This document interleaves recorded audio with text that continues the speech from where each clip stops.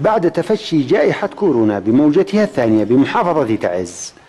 عقد صباح اليوم مكتب الصحة والسكان مؤتمرا صحفيا ليظهر للجميع آخر التطورات والمستجدات. وكيف يتعامل المكتب مع الحالات التي تصل إليهم؟ وما تعاني المحافظة جراء هذا الفيروس القاتل؟ وبالتالي عندما أقول لك أنا بلغ إجمالي العادات المشتبهة أي المبلغ عنها 242 حالة مشتبهة إلى أمس طبعا هذا لا يعني أن كل الحالات فقط.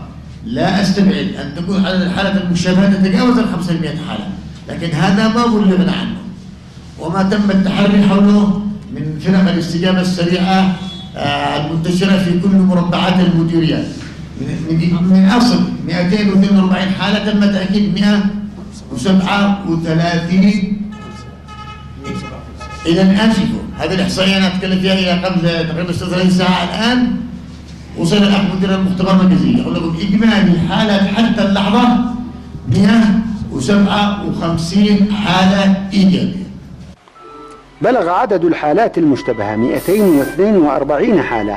ثبت إصابة 137 حالة مؤكدة بعد الفحوصات.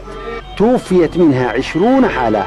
وهناك حالات لم يبلغ عنها ولم تصل إلى مكتب الصحة تعاني في منازلها سواء بالمدينة أو الريف. وهناك تضاعف وازدياد بالحالات المشتبهة المؤكدة كل يوم وسط إهمال مجتمعي وغير مبالاة قد تؤدي لكارثة إذا لم يلتزم السكان بكل الاحترازات المطلوبة. إلى الآن لم تدعم محافظة تعز سواء من منظمة الصحة العالمية أو من مركز الملك أو من الدعم المقدم من شركات هائل سعيد التي قدمت إلى جميع أنحاء محافظة الجمهورية ما عدا محافظة تعز فيما يخص جهاز ال PCR فقط. آه، منظمة الصحة العالمية دعمت بالأجهزة الأخرى المتعلقة بوحدة ال PCR. لكن كجهاز ليس لدينا سوى جهاز واحد فقط يعمل منذ 2010 نحن نناشد كل المنظمات الإنسانية بما فيها؟ منظمة الصحة العالمية ومركز الملك سلمان للإغاثة الإنسانية. بدعم مستشفى الجمهوري بمحطة توليد الأكسجين بسعة من 200 إلى 300 أسطوانة يوميا حتى نكون قادرين على تلبية الاحتياج للمرضى. كما يعرف الجميع بأن مادة الأكسجين هي الأساسية كإنقاذ المريض بالخطوة الأولى ثم تأتي بعد ذلك الإجراءات إيش المعالجة للمرضى.